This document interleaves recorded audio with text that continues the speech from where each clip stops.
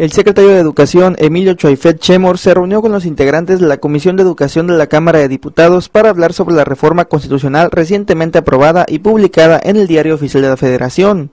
Resaltó que el tema educativo siempre ha sido prioritario para los gobiernos mexicanos. Recordó que la cobertura escolar en nivel primaria es de 100%, en secundaria de 95% y en preparatoria disminuye al 66%, lo que complicará cumplir con el mandato de la nueva reforma educativa. Este mes de septiembre tendremos que darle educación media superior a todo el que lo solicite. Solo que la realidad nos dice que no tenemos los espacios necesarios, las aulas, que no tenemos los maestros necesarios. Otro reto importante, subrayó, será aumentar la cobertura en nivel de educación superior. Es el 33 y queremos llegar al 45. Tenemos que hacer que el aparato productivo y la escuela media superior y superior tenga puentes de enlace que permitan al estudiante vincularse al mercado productivo.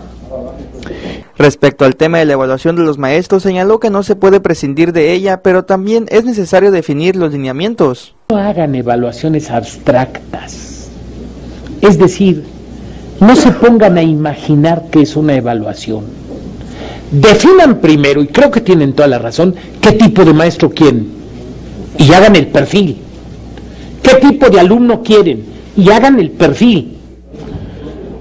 Al respecto, el presidente de la comisión reconoció que la reforma no vulnera los derechos laborales de los trabajadores de la educación.